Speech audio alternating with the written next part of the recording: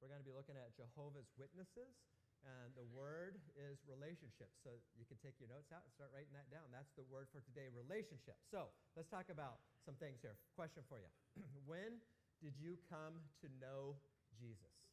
When was it that you came to know Jesus? Was it as a child? Maybe it was in your Sunday school class, uh, singing all those great Sunday school songs that Alex probably wouldn't like either.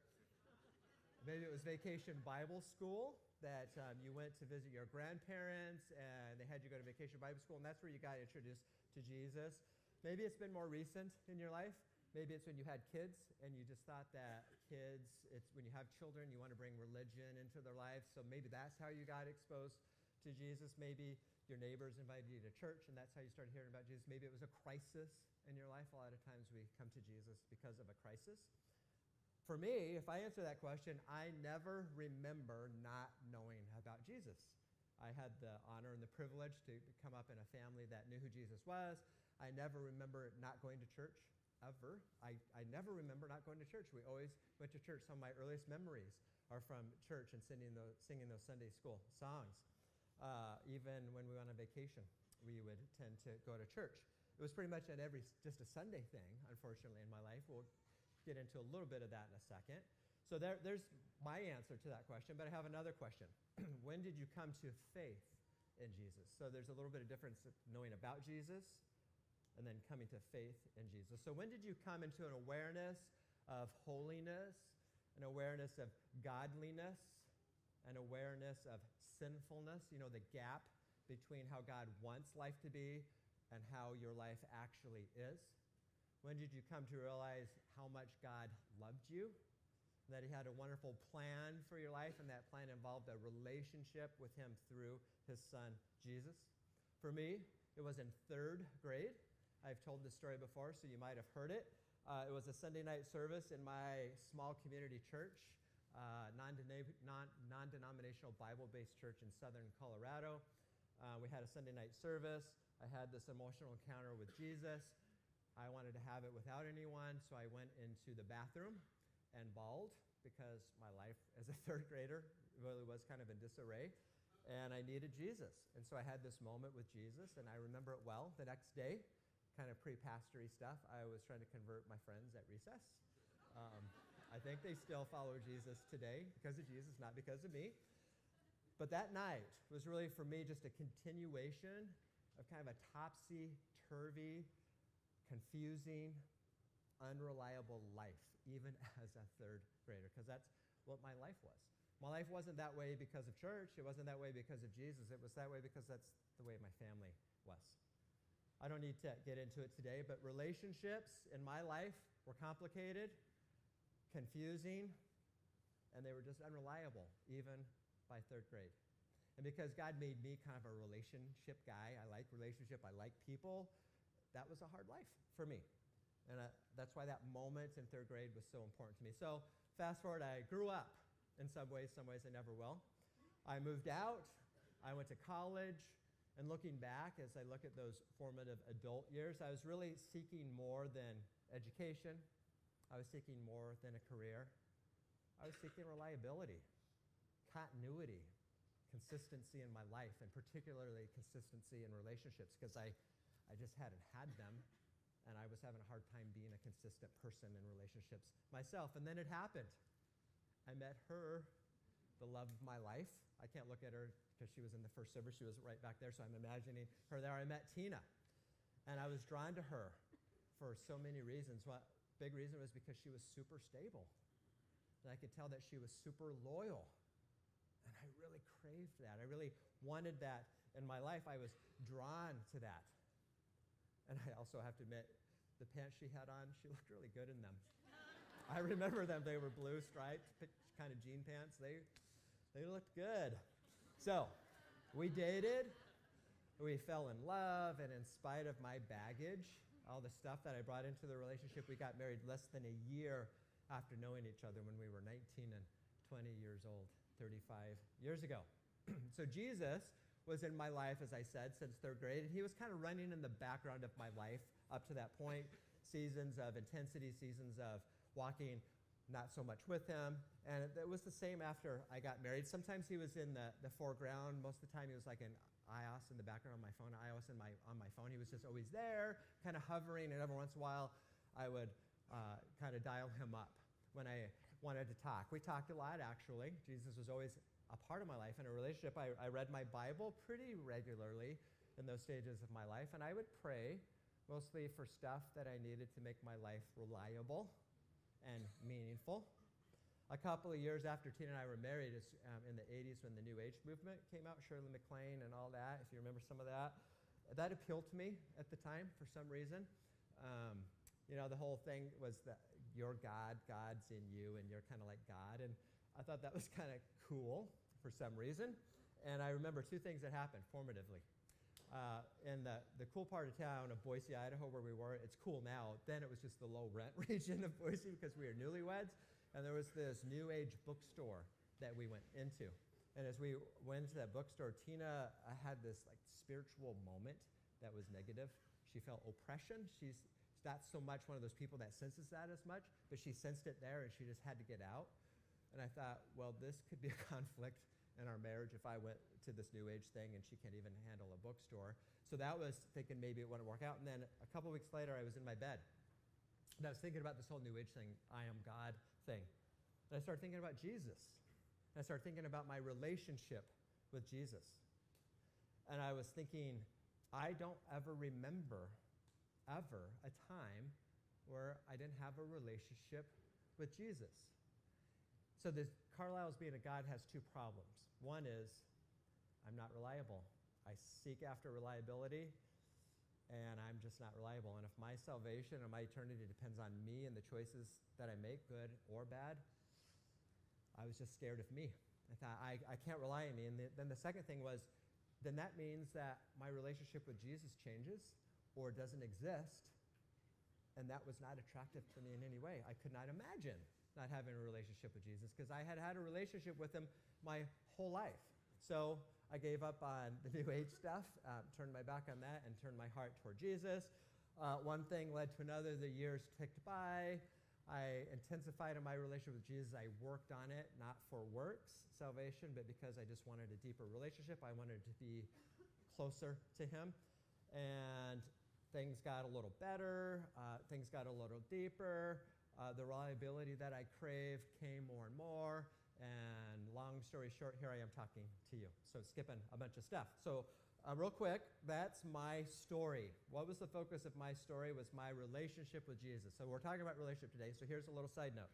Part of this whole exploration of world religions things, you should know your story. You should be able to tell your story the way I just told my story. That's my testimony.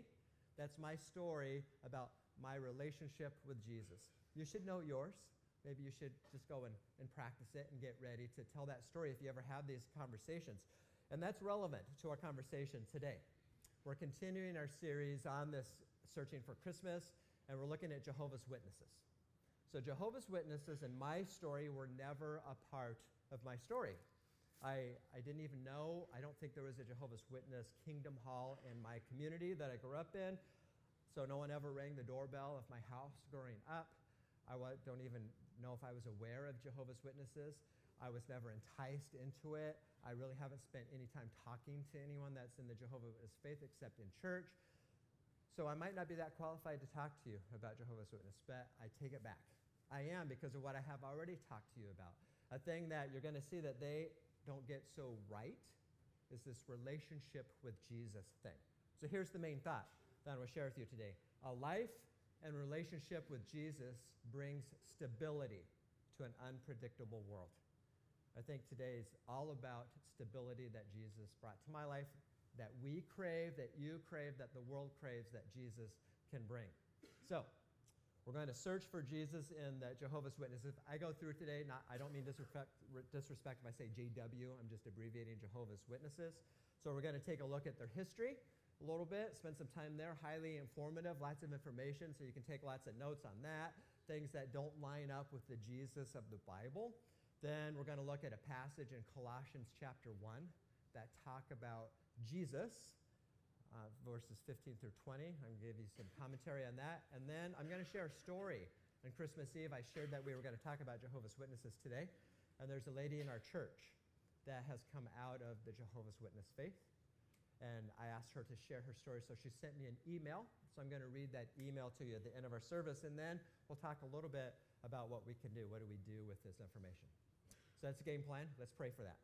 Jesus, we thank you that you are you, that you are God, that you are reliable in a world that is plagued by unreliability in ourselves, in our nation, in our world, all around us. Thank you, Jesus, that you are God, you are stable, and you invite us into a relationship with you.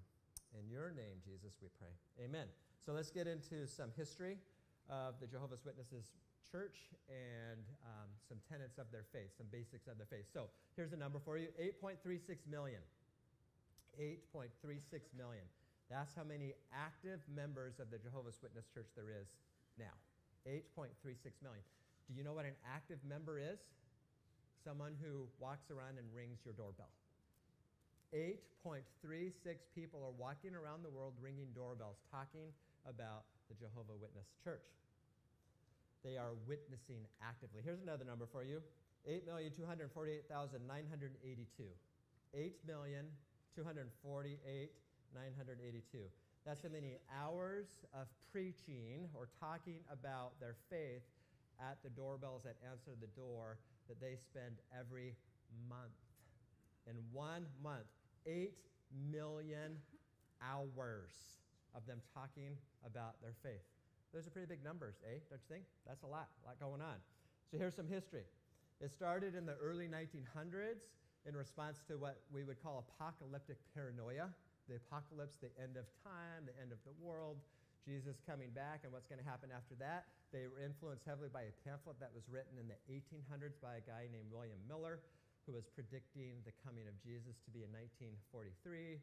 It didn't come in 1943, so that movement divided into two different movements the Seventh day Adventists, which is still a church, and the Second Adventists, which became the Jehovah's Witnesses. So a new guy named Charles Taze Russell came on the scene and he came up with a new date for the end of time and when Jesus would come back. The date came and went, and nothing changed. So they decided that Jesus had returned, but he had returned invisibly, and he was around, but nothing had really shifted, which goes against the Bible. In Acts chapter 1, 9 through 11, and Revelation 1, 7, it says that when Jesus comes, we're going to know it. We'll see it there will be some changes that come. It won't be this invisible thing. So that's what they said, that we didn't get the date wrong. He's here. We just can't see him, and nothing's really changing yet. From there, they started the Watchtower Bible and Tract Society, and they decided that they were the only ones who could comment on the Bible. Does that sound familiar to some maybe religions that you've been a part of? The Catholic Church used to be big enough that only the father or the priest could interpret or read Scripture, so they kind of went that way. And eventually they even changed that to say that they could also add or change the Bible as they saw fit, what we've also seen in some other religions. So then they started messing with the date. So they changed the Armageddon date to 1914. Um, the Rus- that Russell guy did. So he died in 1916. Did you catch the date? 1914. He was still alive in 1916, and then he died. So that date had changed. Uh, and they just sort of went on. A new guy came on, and they changed the date again to 1925. Date came, date went. Another new guy came on in 1942. They made another date, 1975. And they went a little farther since he had been granted the authority that comes with the Watchtower Society, that they can uh, write things and change things. All the writing they had done with prior predictions in their documentation and all their books they deleted all those things. They just basically destroyed the evidence. They didn't want people to know what they had said because now it was different and they had changed it. And he also then encouraged people to not get married, to not have any children, to not pursue higher education, to not pursue any careers. But yet, as an organization, they bought tons of real estate because they just had a contingency plan in case the whole date thing didn't work out again, which, since it's been quite a while since 1975, it didn't work out. So that date came and went. That guy came and went. The date changed eight different times. eight different guys, eight different times. So now they don't make any date claims. Jesus is still here invisibly. They just aren't doing any Armageddon dates. They don't have to change their books that way. So there's several reasons why I think that this is important. The biggest reason is because what I've already shared with you, what I craved as a uh, child in third grade, what, what I craved when I met my wife, and what I craved when I turned away from the, being tempted by the New Age movement and turned to Jesus is reliability. How reliable are all these things that I just shared with you? They all undermine that same thing reliability as a religion versus the reliability of a relationship with Jesus. So here's some things that the JW Church believes. They believe in faith by works. We've been talking about that the last couple of uh, weeks when we've looked at other religions. That's been a consistent theme. Faith by works, or salvation depends on you and what you do or what you don't do. Their immortality is a reward for faithfulness and good works. That's why millions of people will ring and spend millions of hours ringing doorbells and talking about the faith because that's one of the things that saves them. They are obsessed in this whole eternity thing and this uh, works thing with a number 144,000 witnesses. Comes from Revelation chapter 7, verse 4. It's in the Bible, but it's really talking about Israel and witnesses that will likely come from Israel that will witness to Israel, not 144,000 dollars, 144,000 people in this other religion. So what they've done is they've changed that 144,000 a couple of times. It used to be that was who was going to get into heaven, and now they've had way more people, and people were getting upset. How do you rate? How do I rate? So now they have different levels of heaven, kind of like what we heard about when we learned about the Mormon religion. So the super faithful, the really faithful ones, the ones that got the works thing down, those 144,000 are going to be in this wonderful heaven, which actually Little freebie here, is not biblical either. That is not our final destination. Revelation tells us that God will make a new heaven and a new earth, and that's what we will inhabit. Our eternity is not in heaven, it's on a perfected earth. So that's not what the Bible says. And then the rest of the good people that do better, not as good as them, but okay, they'll inhabit this lesser place, a cool earth, but not the super heaven. Only 144,000 will get that. They deny the Trinity because they say that the Trinity is not a word that's in the Bible. So the Trinity, the word is not in the Bible, but the people of God, God as Trinity, Father, Son, and Holy Spirit, is definitely in the Bible all over the place. In fact, there are 20 verses that in one verse have all three people of the Trinity 20 different times in 20 different verses in the same verse. Do you get that? It's not a verse here, a verse there, a verse there, which there's plenty of those in the Bible too. 20 verses that have all three persons of the Trinity in the Bible. So Trinity is in the Bible. The word Trinity is not in the Bible. You know what word also is not in the Bible? Jehovah. What's the name of the church we're looking at? Jehovah's Witnesses. Jehovah's not in the Bible. You know what Jehovah is? It is a best guess Latin vocalization. What that means is when they were translating the Bible into Latin, they had the personal name of Jesus, which is of God, which is Yahweh. They didn't know how to pronounce it. The Hebrew language has no vowels in it, so they were guessing on how to say this word. And because it flowed well, I guess, they came up with the word Jehovah as a best guess vocalization. You know what else is wrong with that? The letter J is not even a letter in the Hebrew alphabet at all. And it starts with that. So if you say that you don't believe in the Trinity because it's not in the Bible, well, Jehovah's not in the Bible either. And I start to go, that doesn't seem reliable to me. Let's keep going in a few more. They don't believe that anyone but the Watchtower Society, there are prophets in the Watchtower Society, can rightly interpret the Bible, so they've changed the Bible to suit some of their theology. So here's a couple of examples. They don't believe that Jesus is God the deity of Jesus, the supremacy of Christ. They don't believe in that. So, to support their claim, there's a couple of verses I want to tell you about that they've changed. So, Zechariah 12:10 in the Old Testament, this is what it says. And I will pour out on the house of David and the inhabitants of Jerusalem a spirit of grace and supplication. They will look on me, the one they have pierced, and they will mourn for him as one mourns for an only child. They remove the word me in their Bible. They will look on the one they have pierced because they don't want Jesus to appear as God, to have any deity that God has. in John chapter 1. We looked at this verse when we looked at Mormonism. This is what it says In the beginning was the Word, and the Word was God, and the, and the Word was with God, and the Word was God. They added one word. I'm going to read it again with their one word, and you see if you can catch it. I'll try not to emphasize it. I'll try really hard not to emphasize it. In the beginning was the Word, and the Word was God, and the Word was a God. Did you catch it? Just the letter A. The Word was a God. That's what you would find in their Bible instead of that. Jesus, the Word, was and is God. So they deny the deity of Jesus, so much so that anything in Scripture that talks about worshiping Jesus, because you can't worship any, anyone other than God, and if Jesus is not God, you can't worship Jesus. They change the word anytime it appears to worship to obeisance, which means to show respect, but not to worship. So they changed a verse, Hebrews chapter 1, verse 8, where God calls Jesus God. So they changed that. But what they forgot about, what they didn't pick up on, is that that verse in Hebrews chapter 1, verse 8, is a restating of Psalm 45, 6, and they didn't change that part. So they published the Bible with the change, and then they realized that Psalm 45, 6 says the same thing, and they had it changed that, so they had to republish again after they changed Psalm 45, 6. So they teach that Jesus is a God. The Bible says that Jesus is God. So here's some verses if you want to write these down. Jesus himself said it several times. John 8:58, Jesus says he's God. John 18, 5 through 8, Jesus says he's God. John 8, verse 24, Jesus says he's God.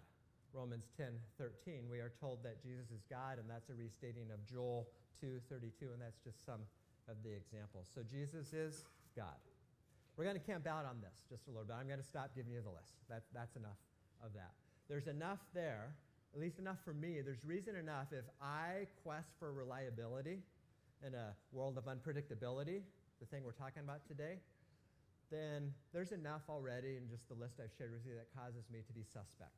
That if I need reliability, that's not reliable. When you start to change those things, when you change predictions and the leaders come and go, when you change requirements for eternity and requirements for where you're going to be in eternity, I get suspect. When you change the Bible, I get suspect. And when you change Jesus, I can't live with it. I decided that night I couldn't, and I just can't live with that. Those aren't just reliable, and a world needs reliability. A life in a relationship with Jesus brings stability to an unpredictable world. So I'm going to read a passage to you, Colossians 1 15 through 20. As I read that, I'm going to make commentary because I just like the Bible so much and this is so rich. And I just have to tell you, I just don't know what they do with this. I don't know what they do with this part of the Bible. This is what it says The Son is the image of the invisible God. The God that we cannot see, we get to see in Jesus, in the life of Jesus. The firstborn over all creation. So that means that he's always existed. He's existed with authority because he's God.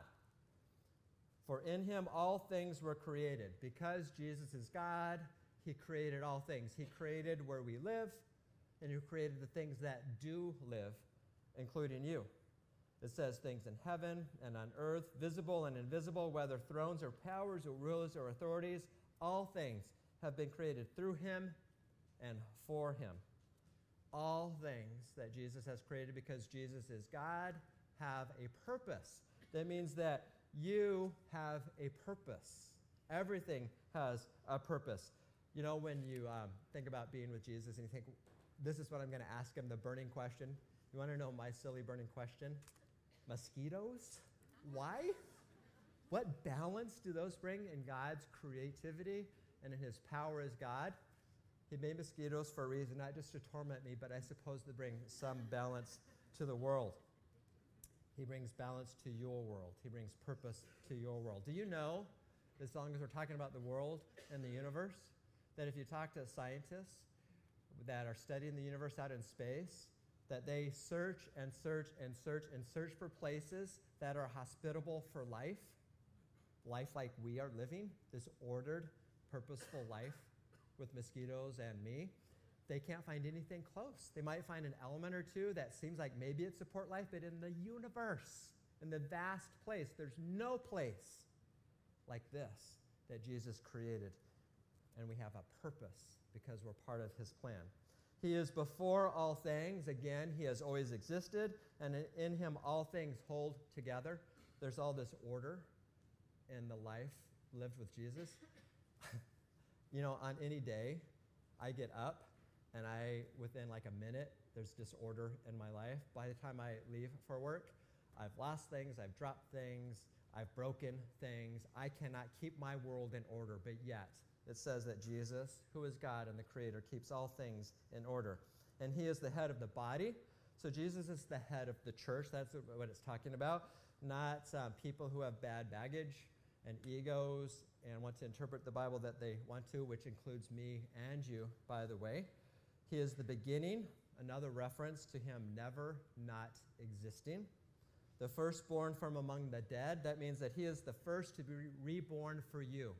He was reborn for you. He died for you and he was reborn for you, the first and the only. So that in everything he might have the supremacy. So, so far, in other words, Jesus is God. Dot. End of sentence. End of discussion. But there's more. For God was pleased to have all his fullness dwell in him, Jesus. Jesus was fully God, Jesus was fully human. He came and dwelt here, did what he came to do to die for us, to bring us back into a relationship with God. And that's what it says in verse 20. And through him to reconcile to himself all things, you, whether things on earth or things in heaven, by making peace. When you see that word peace, it means completeness, wholeness, perfected, not contrary to God, but partnering with God. That's why Jesus came, through his blood shed on the cross. And this is because of Jesus' sacrifice on the cross. So Jesus is God, pure and simple. Jesus wants a relationship with me, pure and simple. And I need that. I need that reliability. So, a couple of questions I've been asking these each time I go to Scripture. What does this say about humankind? I think that you're in the same boat as me. What this says about humankind is we like to know where we come from. And if we're going to worship something, we like to know where what we worship comes from. So if you look at Colossians chapter 1, verses 15 through 20, we don't need to look any further than Jesus. And that's the end. That's the end of that sentence. What does it say about humankind? We want to know.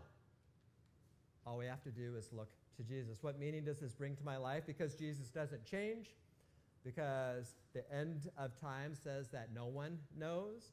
The Bible hasn't changed. Jesus is a reliable person for me to mimic my life after. That's the meaning it brings to my life. So I take salvation in Jesus to the bank, to two different banks. To the bank of eternity. My salvation is not based on my good or bad days. My salvation is based on Jesus. And to the today bank, which means that because I have a relationship with Jesus, because I rely on him and he's changing my life, that he affects my Monday and he affects my Tuesday. So it's my salvation is taking place now. And as I said, I need that. I need that every day. I rely on it. How can this shape my life? It says there at the end of that passage that Jesus loved you. Since God loved you so much and didn't want to live without you and you to live without him, he made amends through Jesus Christ. So I have a reliable relationship with God and a peaceful relationship. God and I are at peace with each other because of Jesus. And that shapes my life every day. Because that's what relationships do, don't they? Relationships shape our lives, relationships change things for us. So I'm going to read this email in just a second. Let me preface it with this. Have you ever been in a, in a relationship that meant something to you, and that person that meant something to you cut the relationship off? I've had that happen. You probably have too. Some interrupts this relationship that you didn't want interrupted. I'm going to read a story to you about what happens when you base your religion, your uh, salvation on a religion rather than on a relationship that can be interrupted. So, as I said, this is from a lady in our church that just sent me this email a couple of days ago. This is her story about being in the Jehovah's Witnesses church. Both my parents are witnesses. My aunts and uncles, witnesses. My grandparents on both sides, great grandparents, all witnesses. My siblings were all baptized by the time I was a teenager. I followed suit and was baptized at 18. Anyone familiar with teenagers and young adults knows that at 18, you don't have it all figured out. Sorry if you're in that boat. Um, even in, in your 50s, you don't have it all figured out. I met my children's father about a year after getting baptized. He wasn't a Jehovah's Witness. My choice was to either get disfellowshipped, that's the term, or leave him. I married him and was disfellowshipped. I knew the rules. He wasn't a witness. All my family and friends quit talking to me. I worked really hard and was reinstated about a year after getting disfellowshipped. That was the norm for me.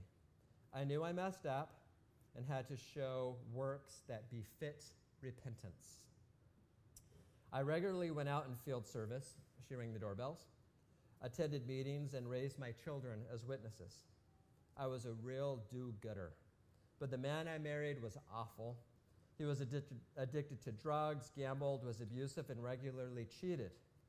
I went to the elders and explained my situation. With Jehovah's Witnesses, you have to have two witnesses to a sin or an admittance, or the sin doesn't count. He didn't admit it. So, no matter how bad he was, I was not free to remarry. That didn't work very well for me, and in 2015, I was disfellowshipped again. This was also around the same time Jehovah's Witnesses came out with their new Bible with new words. Witnesses praised their new wording and the new light that came to them, but it left me confused. Still, I'm a hard learner, and I came back again. I was reinstated in September of 2018. I hadn't talked to anyone in three years, so seeing everyone was emotionally overwhelming. I threw myself right back into service. My only association was literally witnesses. Only two months after being reinstated did it hit me again that I realized I no longer agreed with these beliefs. I was working so hard getting people to talk to me again that I forgot that the whole point of even being there is our love and our faith. So that was a breaking point. I was in the middle of a midweek Bible discourse. We were discussing the apostles being harassed by the Pharisees over the harvest. The Pharisees were giving the apostles a hard time, insinuating the apostles were breaking the law when they were just grazing. Something clicked. Witnesses provide a list of disfellowshippable offenses.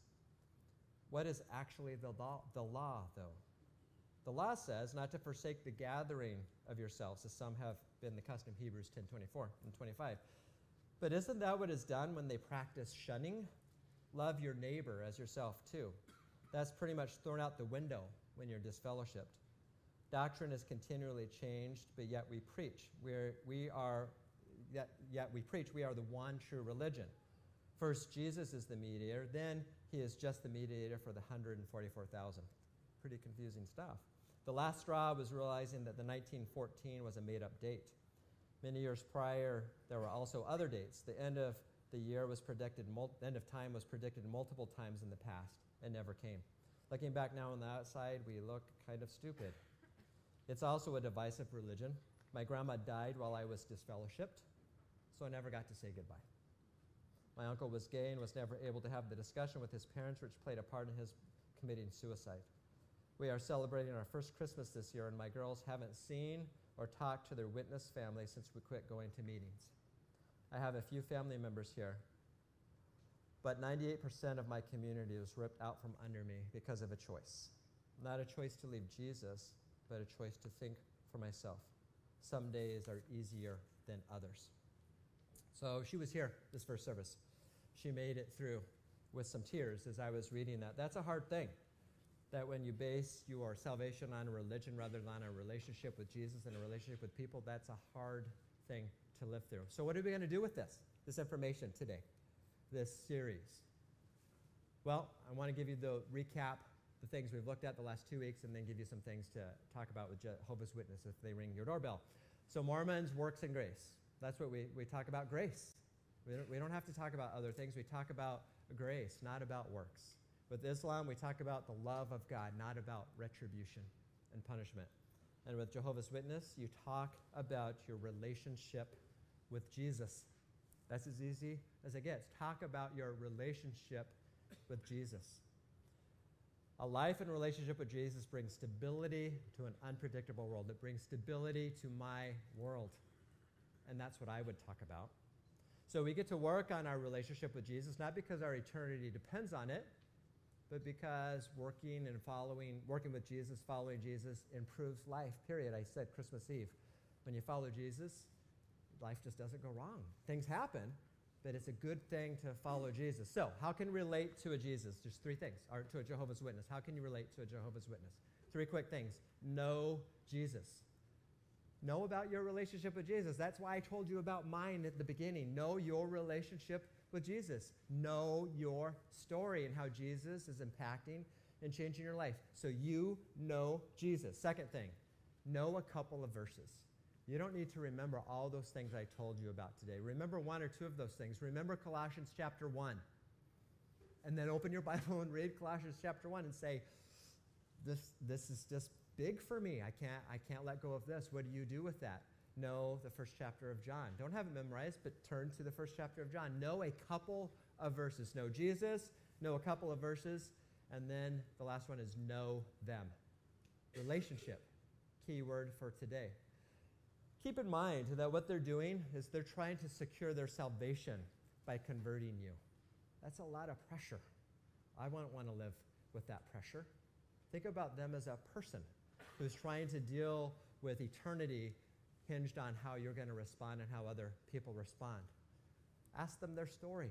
Get to know them after you've told them your story. That's all we got to do is talk about Jesus, talk about yourself, and talk about them and see where it leads. So I think I'm ready. Usually I don't like to answer the door when the doorbell rings when I see it's one of them. It's probably going to happen now. So I'm all prepped up. Be praying for me. I'll be praying for you. Three things know Jesus, know a couple of verses, and get to know them and see what God does with it. Would you pray with me? Jesus, we thank you that we have a relationship with you that's reliable, that you did what you needed to do, and you're doing more each and every day. I'm sorry that I need to rely on you so much, but in ways I'm not because I know I'm just not reliable.